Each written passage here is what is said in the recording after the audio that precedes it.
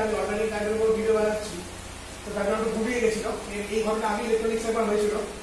তো তার জন্য আমি ক্ষমা চেয়ে নিচ্ছি একবার। আমার সবার কাছ থেকে প্রথমে সরি বলে নিচ্ছি আমি। তো আমার যেটা প্রথম ভিডিও ছিল কিসেল one two three four five হয়েছিল। আর লাস্ট যেটা হয়েছিল সিক্স সেখানে নিউমেরিক্যাল প্রবলেম ছিল।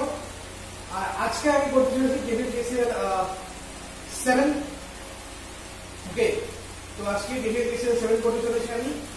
তো কেবিল কেসের সেভেনে আমি আজ তোমাদের যেটা, যে জিনিসটা আমি ডিসকাস করব আমি, সেটা হচ্ছে মিটার রিচ ওকে তো মিটার রিচ সম্বন্ধে একটা ডিসকাস করব। তো আমি ভেবেছিলাম আজকে মিটার রিচের সাথে পোটেনশিয়াল মিটারটাও করব, কিন্তু পোটেনশিয়াল মিটারটা হবে না। পোটেনশিয়াল মিটারটা আমি নেক্সট ভিডিওতে বলব।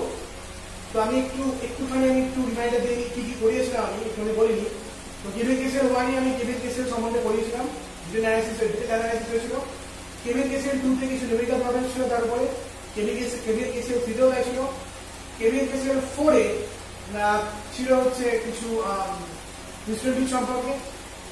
কেবিল কেসের ফাইভে ছিল নিউমেরিক্যাল প্রবলেমস সেভেনে হিস্টোরিক সংক্রান্ত কিছু প্রবলেমস সরি সিক্সের হিস্টোরিক সংক্রান্ত কিছু প্রবলেম আর আজকে চলছে হচ্ছে কেবিএল কেসিএল সেভেন তো সেখানে আমরা আজকে শিখতে চলেছি মিটার সম্পর্কে তো প্রথমত আমি একটু বলে দিই what is meter bridge so meter রিচের application is nothing but application of history bridge এটা হিস্টোরি রিচ অ্যাপ্লিকেশন ছাড়া কিছুই নয়, এই মিটার রিচটা আমি যেমন ছবি আঁকবো তোমরা দেখতে হবে এবং মিটার রিচটা খুব ভালো করে শিখতে হবে তার কারণটা হচ্ছে এই যে মিটার রিচটা প্র্যাকটিক্যালে কাজে লাগে।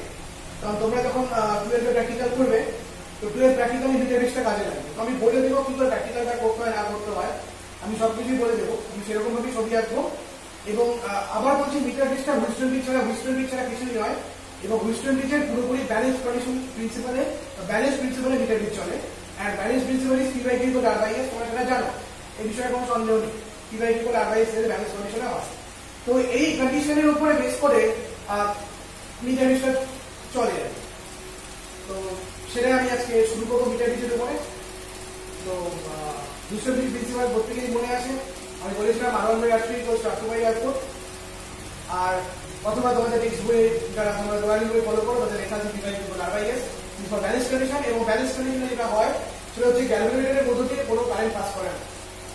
আবার বলছি ব্যালেন্স কন্ডিশনে যেটা হয়, সেটা হচ্ছে ক্যালকুলেটরের মধ্য দিয়ে কোনো রকম কোনো কারেন্ট পাস করে না। এটা মনে রাখার বিষয়। এবং আনব্যালেন্স কন্ডিশনে ক্যালকুলেটরের মধ্যে একটা certain amount of current pass করে। এবং তার ভ্যালুটা আমরা ম্যাট্রিক্স স্ট্যামার মেথড বার করেছিলাম আইজি এবং সেই গোটা প্রিন্সিপালদের উপর বেস করেই আজকে আমাদের মিটারবিক্সটা করতে হবে তো বিশ্ববিক প্রিন্সিপালটা একটু মনে করে নাও বিশ্ববিক প্রিন্সিপাল যদি না মনে থাকে, তো তোমরা খাতাটা খুলে দেখে নাও, একবার ভালো করে বিশ্ববিক্সটা দেখে নাও, দেখে নিয়ে চলো আমরা রিচটা শুরু করব তাহলে শুরু করা মিটার রিচ সম্ভব ওকে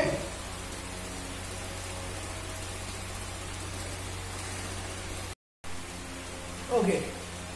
So see these two diagrams very carefully. So দেখো ভালো করে দেখো তো আমি এখানে মিটারটি দেখেছি তো দেখতে পাচ্ছ, প্রথম যে ছবিটা মানে ফিগার ওয়ান যেটা, সেই ফিগার ওয়ান হচ্ছে প্র্যাকটিক্যাল সার্কিট অ্যানালাইসিস আর ফিগার টু আমি যেটা দেখেছি, সেটা হচ্ছে প্রিন্সিপাল মানে কোন প্রিন্সিপালের উপর বেস করে চলে। তো দেখতে পাচ্ছ, কিছুটা হুইস্টন ব্রিজের মতো ছবি। তো আমি প্রিন্সিপাল ব্যাপারটাতে বলে আসছি। আমি একটা প্র্যাকটিক্যাল অ্যানালাইসিসে আছি। এখানে কিছু প্র্যাকটিক্যালি তোমাদের কিছু মেশিনের সাথে সাক্ষাৎ হবে। এবং প্রত্যেকটা মেশিনের ছবি আমি তোমাদের, আমি ভিডিওতে আমি অ্যাটাচ করে দেবো। চিন্তার কোনো কারণ নেই ওকে প্রোডাক্ট বলি কি এখানে আছে না আছে একটু বলি দেখো সো মিটার আমি বললাম যে মিটার যেটা হয়, সেটা হচ্ছে প্রিন্সিপাল মেনটেন করে চলে।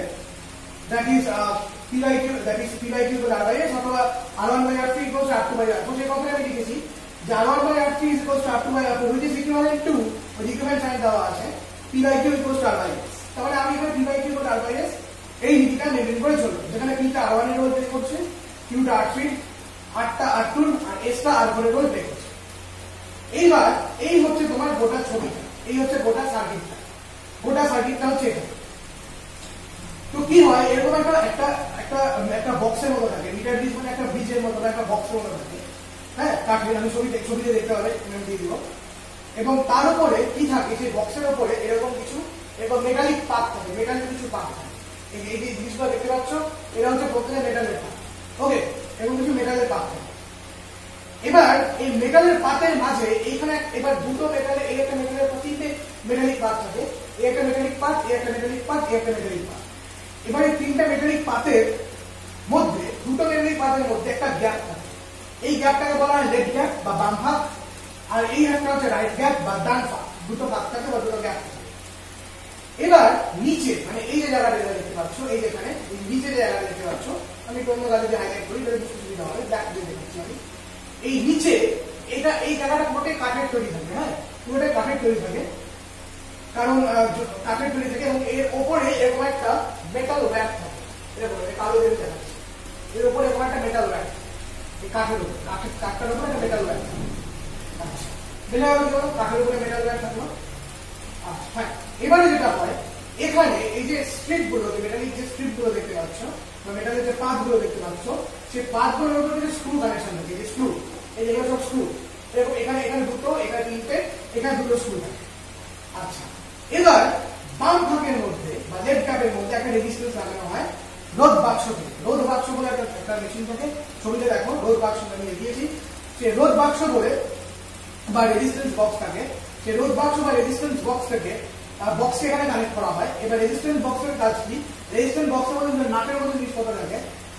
মানে মোটামুটি ধরো দুই ওহম, তিন ওহম, চার ওহম, পাঁচ ওহম, দশ ওহম, এরকম কিছু নাটের মতো দেওয়া থাকে। এবার ধরো মনে করো তুমি এখানে মনে করো দশ ওহমের রোধ কানেক্ট করতে যাচ্ছ, তুমি যদি দশ ওহমের নাটটাকে করে দাও, তাহলে টেন ওহমের রেজিস্ট্যান্স নাটটা এখানে কানেক্ট হয়ে যায়। রেজিস্ট্যান্স এখানে কানেক্ট হয়ে যায়। তুমি যদি বারো ওহম কানেক্ট করতে চাও তাহলে একটা টেন ওহমের নাট তুললে একটা টু ওহমের নাট তুললে তাহলে পরে বারো ওহমের কানেক্ট হবে ছবিতে দেখতে হবে আচ্ছা। আর এখানে রাইট গ্যাপের মধ্যে একটা রেজিস্ট্যান্স লাগানো হয়। যে কোনো সেটা যে কোনো এটা রোধ বাক্স লাগানো হয় না। এটা যে কোনো তার হতে পারে, কিংবা যে কোনো তোমার মানে যে কোনো আলাদা রকমের কোনো রোধ হতে পারে। মানে মোটামুটি এখানে রোধ লাগানো হয় এবং এই রোধটা যেটা লাগানো হয় সেটা আননোন থাকে বা অপরিচিত আমাদের মোটো হচ্ছে এই প্র্যাকটিক্যালের মাধ্যমে এই আননোন রেজিস্ট্যান্সটা বার এটা হচ্ছে আমাদের মেইন মোটা মিটার রিচ প্র্যাকটিক্যাল করার মেইন মোটোটাই হচ্ছে এটা, যে আননোন রেজিস্ট্যান্স মেজারমেন্ট এবং তার রোধাঙ্ক বা রেজিস্ট্যান্স পার ইউনিট বা তার রোধাঙ্ক বা রেজিস্টিভিটি নির্ণয় করা। এটা হচ্ছে মেইন মোটো তো এই যে এস যে রোধটা দেখতে পাচ্ছ, এই এস রোধটা থাকে আননোন বা অজ্ঞাত এই এস রোধটা থাকে আননোন বা অজ্ঞাত। আমাকে প্র্যাকটিক্যালের মাধ্যমে এস রোধটাকে বার করতে হয় আচ্ছা এটার জন্য মোটো তো আমি আমি আগে সেট আপটা বলিনি আমি আগে মেশিন সেট আপ বলি তারপরে বলি। এই যেটা দেখতে পাচ্ছ একটা কমিউটেটার সি হচ্ছে কমিউটেটার এই সি কমিউটেটারটা চারটি মতো দেখতে হয়, ছবিতে দেখতে হবে। তার মধ্যে চারটি দুটো থাকে, দুটো প্লাগ থাকে। তো প্লাগের অদল বদল করে প্লাগের অদল বদল করে আমরা কানেকশনটা করি বা কমিউটেটারের সাহায্যে খুব ইজিলি পোলারিটি পাল্টানো যায়। হ্যাঁ? কমিউটেটারের প্লাগ অদল বদল করে খুব সহজে পোলারিটি পাল্টানো যায়। এবং তুমি দেখতে পাচ্ছ কমিউটেটারে একদম ডায়াগোনাল কর্নার কর্নার কানেকশন এই কর্নার এই কর্নার এই এটা যদি আমি এরকম করি, তারপর this is one this is two this is three this is four এরকম দেখে তো ওয়ান আর থ্রি এর মধ্যে ওয়ান আর থ্রি এর মধ্যে ব্যাটারি কানেকশন করা হচ্ছে। দেখতে পাচ্ছ ওয়ানের ব্যাটারি পজিটিভ ফোর আর থ্রি এর ব্যাটারি নেগেটিভ ফোর কানেকশন করা হয়েছে। আর টু আর ফোর এর কানেকশনটা দেখো। এই যে এই স্ট্রিপটার একটা স্ক্রু ফোরে কানেক্টেড আর এই স্ট্রিপটার একটা স্ক্রু টু এ কানেক্টেড এবং যাতে করে তারপর টাচ না লাগে, সেই সব ব্যবস্থাটা আমাদের দেখতে হবে। ওকে ভালো কথা। এই হচ্ছে কানেকশন কম্পিউটারের ছবি তুমি দেখাবো আমি। তো কম্পিউটারের স্ক্রিনের যদি অদল বদল করে দেওয়া হয়, তাহলে কি হয়? প্রভাব ডিরেকশন ঘুরে যায়। এটা হচ্ছে আমাদের মেইন ইয়ে কনসেপশন এটা। প্রভাব ডিরেকশন ঘুরে যায়। সেটা কম্পিউটারের প্লাগ হতে পারে। আমাদের ব্যাটারি আলাদা করে খুলে পাল্টানোর দরকার নেই। মানে ব্যাটারি পজিটিভ মানে ব্যাটারি পজিটিভ নেগেটিভ পোলারিটি পাল্টানোর কোনো দরকার নেই। কম্পিউটারের প্লাগ খুলে দিলে জাস্ট পোলারিটি ঘুরে যাবে। ওকে এবারে মেইন পার্ট কোর পার্টে আছে মেইন পার্ট হচ্ছে এখানে। এখানে এই যে মেকানিক পাথরটা দেখতে পাচ্ছ, তার মাঝে একটা স্ক্রু থাকে। এই স্ক্রু থেকে একটা গ্যালভোমিটারকে কানেকশন করা আমি গ্যালভোমিটার চলে দিয়ে এই স্ক্রু থেকে একটা গ্যালভোমিটারের ছবি দেওয়া হয় কানেকশন করা হয় এবং তার সাথে একটা জকি কানেক্ট করা হয়। জকি জকি একটা পেনের মতো দেখতে এবং পেনের মতো দেখতে।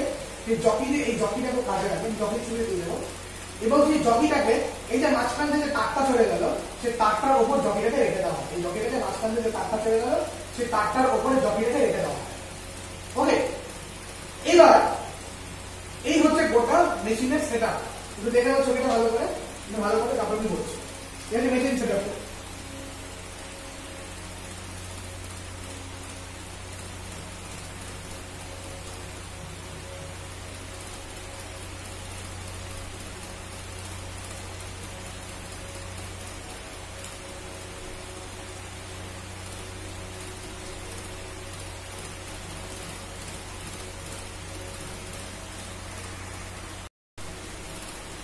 ওকে এবার আমি বললাম, আমাদের এই প্র্যাকটিক্যালের মেন মোটো হচ্ছে আননোন রেজিস্ট্যান্স ক্যালকুলেশন এবং আমি বললাম যে পুরো যে প্রিন্সিপাল বা বেস করে প্রতিষ্ঠিত হয় প্র্যাকটিক্যালটা যেটা পিবাইটি করে আদায়ে ফর ব্যালেন্স কন্ডিশন তো তুমি ছবিতে আর আর এস কে দেখতে পাচ্ছ, তাই তো? আর এস কে দেখতে পাচ্ছ, বা তোমার মনে সন্দেহ, একটা জানা আছে যে পি কিউ কোথায় ওকে দেখো। এক্সপেরিমেন্টটা কি করে করতে আমি বলি? তো এক্সপেরিমেন্টটা সেটআপটা আমার হয়ে গেল পুরোপুরি। তোমাকে এক্সপেরিমেন্টে যেটা করতে হবে, সেটা হচ্ছে নিষ্পন্ন বিন্দু বার করতে হবে।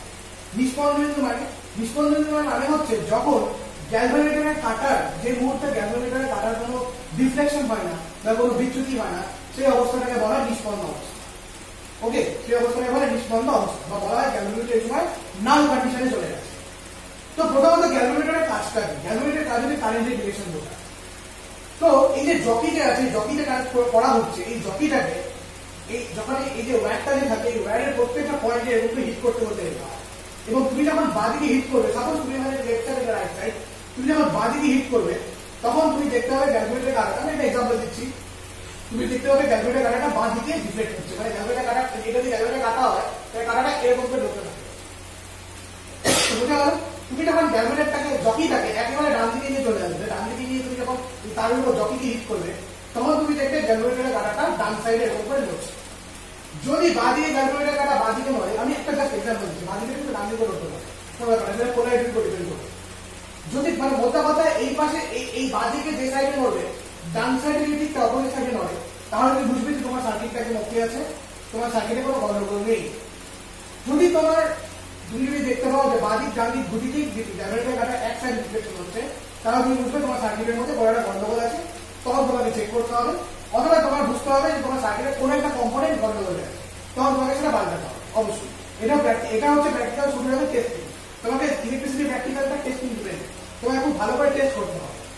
এবং আরেকটা বড় কথা যেটা, সেটা হচ্ছে যেহেতু এখন আগ্রহ এটা তার জন্য সবসময় সিরিজ কাগজ দিয়ে যখন তার কানেকশন করবে, তোমরা এখানে তো তার দিয়ে লাগাতে হয়, তার কানেকশন যখন করবে, তখন তাদের মাথাটা বা তাদের মেকানিক পার্টটা সেটা ভালো করে নিয়ে সিরিজ কাগজ খুব ভালো করে ঘষে নিতে হয় বুঝে চকচকে করে দিতে করার পরে তারপর লাগাতে হয়, তাহলে প্র্যাকটিক্যালটা খুব ভালো ওকে তো এবার এবার তুমি দেখতে পেলে, এবার জকিকে তুমি প্রত্যেকে হিট করে দেখলে। তুমি দেখলে বাঁ যখন হিট করছ ক্যালকুলেটার টাকাটা বাঁ করছে তুমি যখন ডান দিকে হিট করছ, তুমি দেখতে পেলে ক্যালকুলেটার টাকাটা ডান দিকে করছে তো তুমি ডিসিশন নিলে ওকে তোমার প্র্যাকটিক্যাল ঠিক আছে। তারপরে এবার ক্যালকুলেটার কাটানো হচ্ছে। কাটানোর মানে হচ্ছে সার্কিটের মধ্যে এই সময় কারেন্ট বাস হচ্ছে। কিন্তু আমি বললাম? এটা হুইস্টন ব্রিজ কন্ডিশনের উপর মেনটেন করে তো হুইস্টন ব্যালেন্স কন্ডিশনের উপর যদি মেনটেন করে চলে তার হিসাব মনে হয় মধ্যে দিয়ে কোনো কারেন্ট পাস হওয়ার কথা না। এবং আমি বললাম যে ক্যালকুলেটরের কাটা যদি রিফ্লেক্ট হয়, এবার ক্যালকুলেটরের কাটার রিফ্লেকশন হওয়ার মানে হচ্ছে এই যে যে সার্কিটের মধ্যে কারেন্ট পাস হচ্ছে। তাই তো? এটা হচ্ছে ক্যালকুলেটরের কাটা নড়িয়ে পড়ে আমি এই ডিসিশনটা নিতে পারি। কোন দিক থেকে কোন দিকে কারেন্ট পাস হচ্ছে সেটা বলে দেয় ক্যালকুলেটর কাটার রিফ্লেকশন অনুযায়ী। কিন্তু আমার হিসাব মতো যদি এটা হিস্টোমিতে ব্যালেন্স প্রিন্সিপালের উপর মেনটেন করে চলে, তার হিসাব মতো ক্যালকুলেটরের মধ্যে দিয়ে কোনো কারেন্ট পাস হওয়ারই কথা তো তোমাকে এই গোটা যে এই যে তারটা, ও তার আগে একটা কথা বলি বলি আমি। এই তারের নিচে একটা মিটার স্কেল থাকে এটা কাঠের যেটা দেখতে পাচ্ছ, এই যে কাঠের যে স্কেলটার উপরে তারটা আছে this nothing but meter scale এটা একটা একশো মিটার স্কেল এই একশো মিটার স্কেলের উপরে একশো মিটার দৈর্ঘ্যের একটা তার থাকে। ঠিক আছে তো? সেই তারের উপরে তোমাকে হিট করতে হয় আচ্ছা এবার জকিতে হিট করতে হয় এবার তুমি তারের উপর জকিতে হিট করছ হিট করতে করতে করতে করতে যাচ্ছ। করতে করতে তুমি এই তো মিটার স্কেলটা এখানে মিটার স্কেল এখানে স্কেলিং করা আছে জিরো থেকে একশো পর্যন্ত তাই তো? মনে করো যখন পঞ্চাশ দাগে, তখন পঞ্চাশ বা পঁয়তাল্লিশ নম্বর দাগে, পঁয়তাল্লিশ নম্বর দাগে তুমি যখন জকিতে হিট করলে, তখন তুমি দেখলে যে গ্যালভেটরের কাটার কোনো ডিফ্লেকশন হচ্ছে না ফিক্সড আছে। তুমি দেখলে যে গ্যালভেটরের কাটার কোনো ডিফ্লেকশন হচ্ছে না ফিক্সড হয়ে আছে। তখন তুমি টপ করে ডিসিশন নিয়ে নিতে পারবে যে হ্যাঁ তার মানে পঁয়তাল্লিশ সেন্টিমিটার মানে এ- এটা একশো সেন্টিমিটার সেন্টিমিটারে একশো সেন্টিমিটার তবে পঁয়তাল্লিশ সেন্টিমিটার এই পঁয়তাল্লিশ সেন্টিমিটার পজিশনে কি হচ্ছে? আমরা এখানে ক্যালকুলেটরে কাটার কোনো ডিফ্লেকশন হচ্ছে না। তার মানে আমরা এখানে কি পাচ্ছি? রিসপন্সিবিলিটি পাচ্ছি। আর এই যে পঁয়তাল্লিশ সেন্টিমিটার যে জায়গাটার মধ্যে তুমি ক্যালকুলেটরে কাটার কোনো ডিফ্লেকশন পাচ্ছ না, তার মানে ক্যালকুলেটরের মধ্যে কোনো কারেন্ট ফ্লো হচ্ছে না, সেই পঁয়তাল্লিশ সেন্টিমিটারটাকে বলা যাবে এল সেই পঁয়তাল্লিশ সেন্টিমিটারটাকে বলা যাবে কি এল তার মানে এইটুকুনি পার্ট আমি যেটা পেলাম সেটা হচ্ছে এল তাহলে একশো সেন্টিমিটারের মধ্যে পঁয়তাল্লিশ সেন্টিমিটার যদি এল হয়, তো বাকিটা কত hundred minus L and what be hundred minus L fifty five hundred এখন তুমি ভাবছ যে এই এল আর হান্ড্রেড মাইনাস এল আমি কি করব? তোমার মনে এখন একটা সংশয় দাঁড়া হচ্ছে। যে আমার এখানে আমি আর আর এস কে দেখতে পাচ্ছি, কিন্তু আমি তো পি আর কিউ দেখতে পাচ্ছি না। ওকে আমি বলছি, আমরা প্রত্যেকে এই ফর্মুলাটা জানি R equals to rho L by জানি তো? এটা আমরা প্রত্যেকে জানি R equals to rho L by তাহলে একটু যদি ভালো করে আমরা দেখি, আমি প্রথমে যদি পি রেজিস্ট্যান্স ভ্যালুটা বার করি what will be P P equals দেখো রো একই তার, উপাদানটা তার উপাদানটা একই, তাহলে রো রোই থাকল। এল এল কত? এল যে কোনো একটা দৈর্ঘ্যে, যে কোনো এল দৈর্ঘ্যে আমি কি পেলাম? আমি নিষ্পন্দ পেলাম। তো এলটা এল রাখলাম divided by A cross section এরিয়াটা এ আমি মনে করলাম তারের ক্রস সেকশন এরিয়াটা এ এটা হচ্ছে পি কিউ কত হবে? রো কারণ একই উপাদানে তারের উপর আমি এক্সপেরিমেন্টটা করছি, তার তো বার পাচ্ছে না। কিন্তু জাস্ট এল এর জায়গায় কি হয়ে যাবে হান্ড্রেড মাইনাস জাস্ট এল এর জায়গায় কি হয়ে যাচ্ছে hundred minus L divided by cross section এরিয়াটাও same A তাই তো ক্রস সেকশন এরিয়াটা সেম এ তাহলে পি কত হয়ে গেল? রোয়েল বাই এ কিউটা কিউটা হচ্ছে মাইনাস এল বাই। তার মানে তুমি এখানে দেখতে পেলে, আমরা যে দৈর্ঘ্যটা পেলাম এই দৈর্ঘ্যটা রোধ ছাড়া কিছুই নয়। এবং আমরা দৈর্ঘ্য আর রোধের মধ্যে সম্পর্কটা এই ফর্মুলা দিয়ে সহজে বার করতে পারি। এবং এই ফর্মুলার সাহায্যে আমরা বলতে পারলাম যে P equals to rho L by A and Q equals to rho into hundred minus L by A তাই তো? তাহলে সহজে তাহলে আমরা কিন্তু গোটা আমার প্র্যাকটিক্যালের মধ্যে আমি আর এবং এস কে খুঁজে পেলাম এবং তার পাশাপাশি আরও এস আমি ডাইরেক্ট কানেকশন করেছি কোনো চিন্তা নেই। এবং তার পাশাপাশি পি এবং কিউ কে কিন্তু আমি এখান থেকে খুঁজে পেলাম in terms of L and hundred minus L P R Q কে আমরা এরকম করে ফেলতে পারব এবার, তাহলে তুমি নিশ্চয়ই বুঝতে পারছ যেটা গোটাটা হুইস্টন ব্রিজের উপর বেস করে চলছে। এবার জাস্ট এই ছবিটাকে হুইস্টন ব্রিজের ফর্মে আমি এখানে আঁকলাম। দেখো তুমি ঠিক কানেকশনটা এই ছবিটা এই ছবিটা মিলিয়ে দেখো। এই হচ্ছে আর এই যে আর যেখানে আছে ঠিক মাঝামাঝি বরাবর এই যে আর আর এস এর জয়েন্ট জাংশন পয়েন্ট হচ্ছে এটা, এই আর আর এস এর জাংশন পয়েন্টে গ্যালভেটর কানেক্টেড আর সেই গ্যালভেটরের নিচ থেকে এসে জকি এই যে জকি সেই জকিটা আর নিচে এটা যেটা, সেটা হচ্ছে নিচে যেটা এবি সেটা হচ্ছে একশো স্কেল একশো মিটারের স্কেল এক মিটারের স্কেল ওকে তো তো যে যেখানে হিট করল, যেটা যে এই পয়েন্টটা আমি যদি রেসপন্সিবিলিটি পেয়ে থাকি তো this is L this L is nothing but Q আর বাকিটা হচ্ছে hundred minus L and this hundred sorry this L is nothing but P and the remaining hundred minus L is nothing but Q তাহলে এই গোটা Wheatstone leak সেটআপটাই কিন্তু bitter বিটের মধ্যে আছে। এবং হুইস্টন লিকের ব্যালেন্স প্রিন্সিপাল বা ব্যালেন্স কন্ডিশন মেনটেন করে কিন্তু আমরা করছি। এবার আমি তোমাদের দেখাবো কীভাবে এই আননোন রেজিস্ট্যান্স এস কে আমরা মেজার করতে পারি। তো দেখে নেব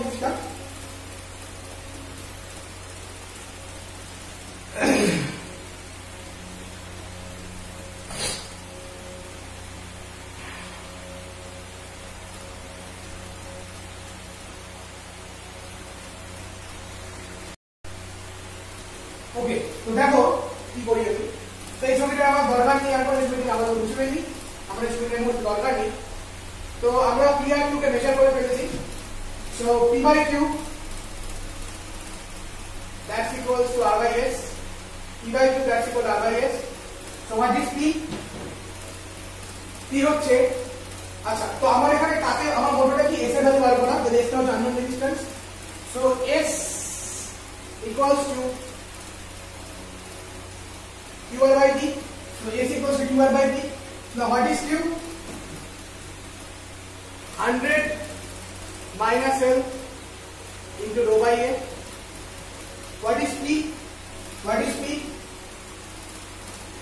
rho l by a into r into r তাহলে এই রো রো এ এ ক্যান্সেল হয়ে গেল so what will be S 100 minus l by l into r 100 minus l by l into 100 minus l by l into r তাহলে আমরা আমরা যদি খুব সহজে এলটাকে মেজার করতে পারি, আমরা যদি খুব সহজে এলটাকে মেজার করতে পারি, এবং আর এর বিভিন্ন ভ্যারিয়েশনে অবভিয়াসলি আমি এবার আমি বলি তাহলে এই ফর্মুলা দিয়ে, আমি একটু বলে নিই, এই ফর্মুলা দিয়ে আমরা কিন্তু কি করতে পারব? আমরা আননোন রেজিস্ট্যান্স এস ভ্যালু বার করতে পারব এবার কি করে প্র্যাকটিক্যালটা করা শোনো বলে দিচ্ছি প্র্যাকটিক্যালে আমি বললাম আটটা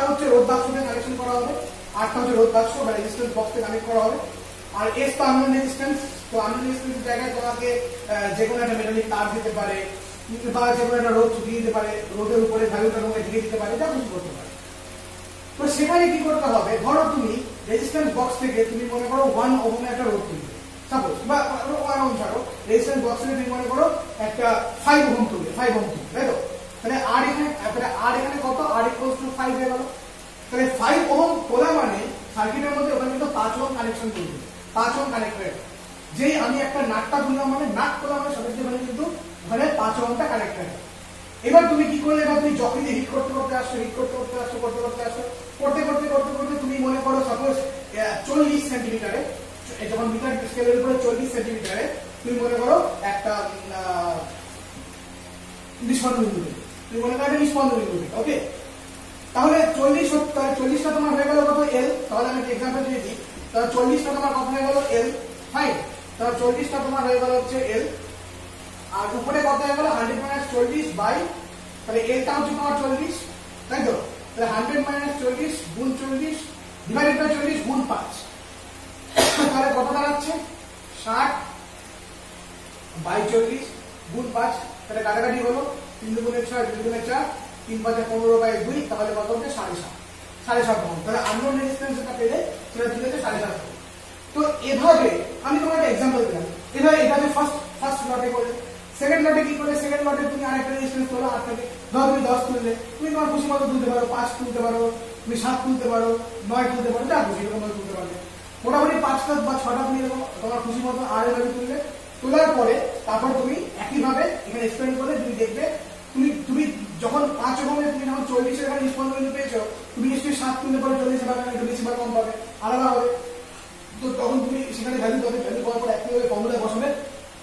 বসানোর পরে তুমি ক্যালকুলেট করে কি পাবে? এসে ভ্যালু মেজার করতে এটা হচ্ছে একটা পোলারিটি এবার এটা হচ্ছে স্টার্টিং একটা পোলারিটি পোলারিটির জন্য এটা পাচ্ছ এবার কমিউনিটের প্লাগ চেঞ্জ করতে হয় কমিউনিটের যে প্লাগ চেঞ্জ করলে তাদের ক্ষেত্রে পোলারিটি ঘুরে মানে ব্যাটারি কানেকশন পাল্টে যাবে মানে পজিটিভটা যেখানে ছিল পজিটিভটা যেখানে ছিল, সেটা উল্টে যাবে। মানে পজিটিভটা নেগেটিভ হয়ে যাবে নেগেটিভটা পজিটিভ হয়ে যাবে। উল্টে যাবে ওটা কানেকশনটা উল্টে যাবে।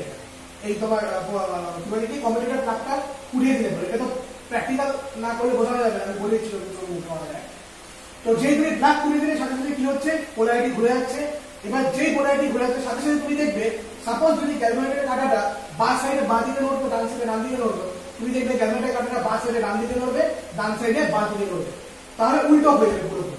তবে আবার খেয়াল রাখতে হবে, যদি বা সাইডে ক্যালকুলেটারের কাঁটাটা ডান দিকে নড়ে আর ডান সাইডে ক্যালকুলেটার কাঁটাটা যদি বাঁ দিকে নড়ে তাহলে তুমি বুঝবে তোমার সার্কিটটা একদম ওকে আছে। তারপর তুমি প্রথম থেকে মানে পাঁচ, সাত, নয় মানে যেটা আগের পোলারিটিতে তুমি যেভাবে রোদগুলো তুলেছিলে, আগের ভাবে যেরকম ভাবে তুলেছিলে, পরের পোলারিটি একইভাবে তোমাকে রোদ বাক্স থেকে রোদটাকে সিলেক্ট করতে হবে সিলেক্ট করে করে প্র্যাকটিক্যাল করতে হবে।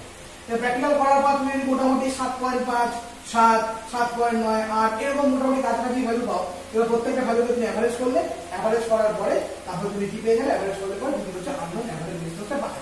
পেয়ে এবার এটা গেল হচ্ছে রেজিস্ট্যান্স এবার তোমাকে বলতে হবে রেজিস্ট্যান্স পার ইউনিট লেন্থ তোমাকে যদি রেজিস্ট্যান্স পার ইউনিট বার করতে বলে, তাহলে তোমাকে কি করতে হবে? ওর লেন্থ দিয়ে ভাগ করে দিতে হবে, তাহলে রেজিস্ট্যান্স পার ইউনিট পেয়ে গেলে। তোমাকে যদি বলে যে ওয়াট রেজিস্টিভিটি বার করতে, খুব ইজি তুমি লেন্থ তো জানোই তোমাকে ওই স্লাইড ক্যালিপার্সের সাহায্যে স্ক্রু গেজের সাহায্যে অবভিয়াসলি স্ক্রু গেজের সাহায্যে তোমাকে কি করতে হবে? তারের ক্রস সেকশন নিয়ে মেজার করতে হবে, তারের ক্রস সেকশন নিয়ে মেজার করার পর তুমি সহজে রো বার করতে হবে and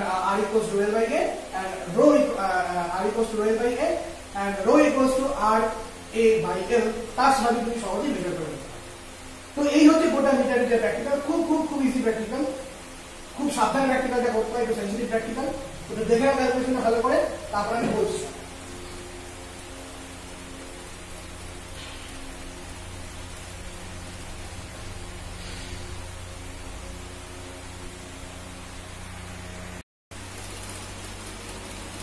ওকে তো আজকে আমি ডিনামিক সম্বন্ধে বললাম, বেশ ভালো।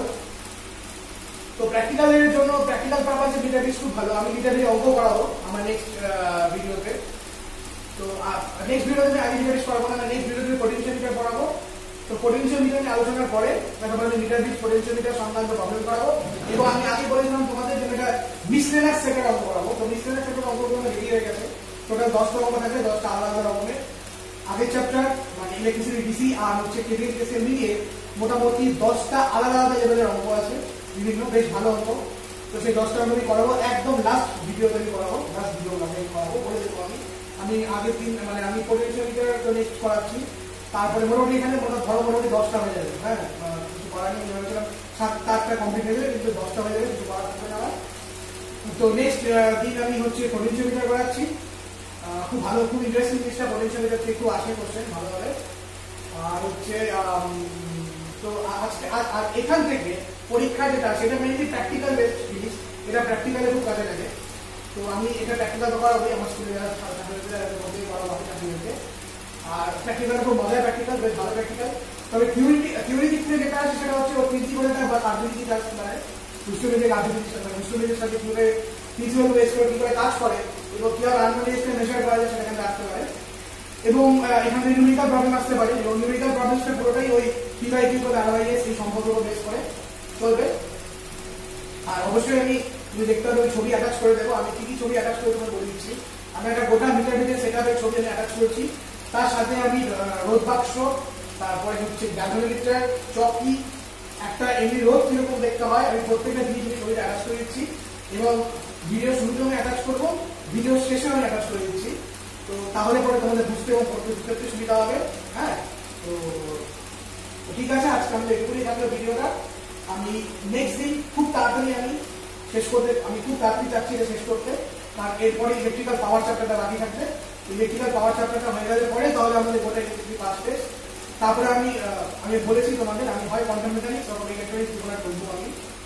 আমার ইচ্ছা কোয়ান্টাম অ্যাটমিকের মধ্যে শুরু করা আর অথবা ইলেকট্রনিক্স শুরু করা।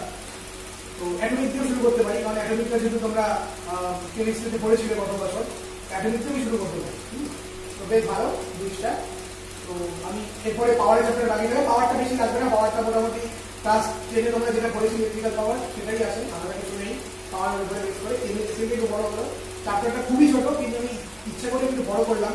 তার কারণটা হচ্ছে অঙ্ক অঙ্ক দিয়ে এই জন্য বড় হয়ে গেল জিনিসটা। তো যাই হোক ভালো করে হ্যাঁ? বুঝতে পারছ তোমরা। পুরোপুরি প্র্যাকটিক্যাল ওরিয়েন্টেড ব্যাপারটা হ্যাঁ? থিওরি জিনিসপত্র খুবই কম। কিন্তু পরের দিন যেটা করাবো, সেটা থেকে থিওরিটিক্যাল কোশ্চেন আছে ভালো। তো সেটার উপরেও প্র্যাকটিক্যাল আছে পটেন্সিয়াল উপর তোমাদের। সো এটুকুই বাই গুড বাই